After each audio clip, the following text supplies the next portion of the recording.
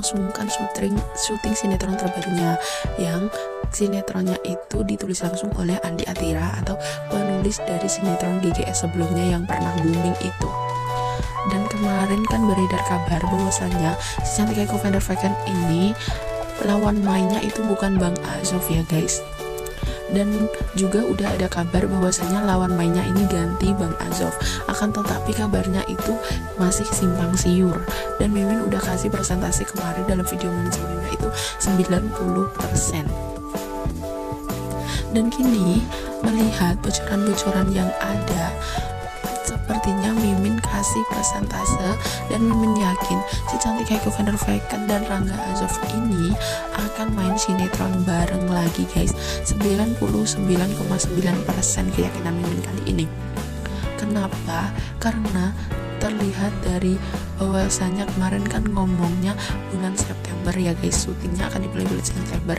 Karena masih ada lawan main atau pemain-pemain yang masih menyelesaikan pekerjaannya bisa jadi itu karena Bang Azov lagi menyelesaikan syutingnya di BHSI kemudian nih Mimin juga menemukan ada salah satu komentar dari penggemar setia dan sahabat Hizover di rumah. Komen dalam Instagram Andi Atira yang bunyinya kapan nih Bang Haizov sepaket main lagi? Yaitu Haiko der dan Naga Azov dan dengan jelas singkat Bang Andi menyatakan atau menjawab komentar tersebut dengan segera. Dan tentu itu adalah kabar baik untuk kita semua. Bahwasannya memang benar halnya bahwa si cantik Van der dan Naga Azov ini akan main sinetron bareng lagi.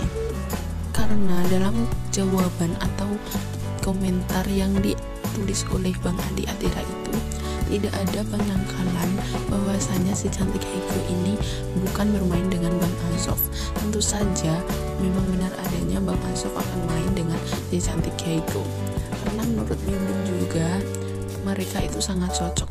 Dan itu semua berkat usaha dan kerja keras dan doa dari para sahabat Zover di rumah yang menginginkan si cantik Heiko van dan Rangga Azov ini syuting sinetron bareng lagi tentunya karena ya mungkin kalian udah pada kangen kan tentunya keromantisan yang dilakukan oleh Samudra dan Cinta, Fajar dan Valia dan lain-lain